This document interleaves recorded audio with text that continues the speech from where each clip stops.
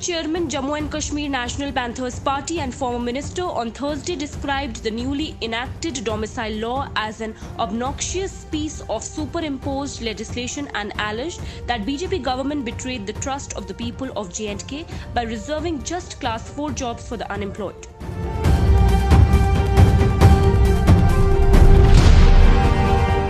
Bharatiya Janata party की केंद्र की सरकार ने जम्मू कश्मीर के बेरोजगार नौजवानों के साथ एक बार फिर से एक बद्दा मज़ाक किया है। यहाँ के नौजवानों को यह आश्वासन दिया गया था कि उनकी नौकरियाँ जो है वो महफूज रहेंगी। लेकिन जो एक कानून निकाला है डोमिसाइल लॉ उसमें यह कहा गया है कि सिर्फ़ क्लास फोर्थ के जॉब्स ही जम्मू कश्मीर के नौजवानों के लिए सुरक्षित रखे जाएँगे और बाकी के सारे के सारे जॉब्स पूरे हिंदुस्तान के लिए ओपन कर दिए जाएँगे। ये एक बद्दा मज़ाक है। यानी भारतीय जनता पार्टी ने यह कहने की कोशिश की है कि जम्मू कश्मीर के युवाओं को अब चाय पिलानी है सिर्फ़, और ऑफिसर जो है, वो बाहर से आएँगे। ये नाकाबिले बर्दाश्त है। आपके बड़े बड़े नेताओं ने, केंद्र के मंत्रियों ने, यहाँ के नेताओं ने यह आश्वासन यहाँ के नौजवानों को दिया था कि जम्मू कश्मीर में जॉब में किसी की हिस्सेदारी नहीं होगी।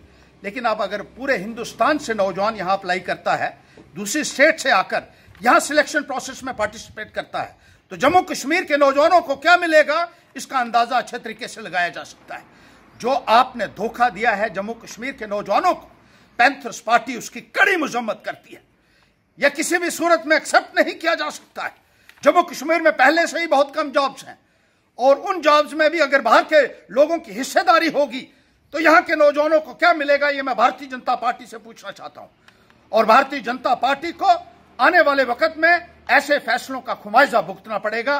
पैंथर्स पार्टी शाना बशाना खड़ी होगी बेरोजगार नौजवानों के साथ अनएम्प्लॉयड यूथ के साथ, कंधे से कंधा मिलाकर चलेगी और इस कानून को जल्द से जल्द रिवोक करने के लिए भारतीय जनता पार्टी से कहना चाहती है कि फैसला ले, वरना आने वाले वक्त में जो सबक नौजवान उनको सिखाएँगे, शायद उसका उनको अंदाज़ा भी नहीं होगा।